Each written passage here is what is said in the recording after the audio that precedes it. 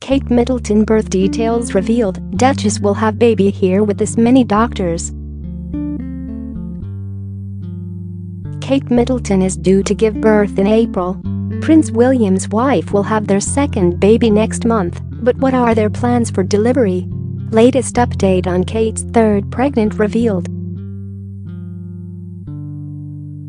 Kate Middleton, 36, is the Duchess of Cambridge and is currently pregnant with her third child.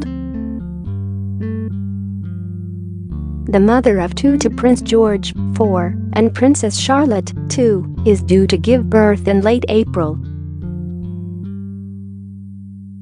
However, royal pregnancies come with much more pomp and circumstance than the usual labor, and the palace will be putting the utmost care into Kate's health and well-being. Express.co.uk revealed what Kate Middleton will be doing to prepare for her birth, but how is the Duchess planning to deliver? According to royal sources Kate will be giving birth in the Lindo wing at Mary's Hospital in London and not having a home birth, as some reports suggested. The Duchess will be cared for by obstetrician Guy Thorpe-Beeston, he was on hand at the birth of George and Charlotte, and Kate is chosen to be in his hands for the third time.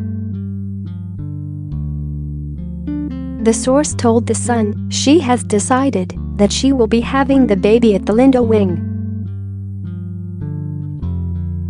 The room is all booked, the team are ready, and everyone is just waiting for the baby to come.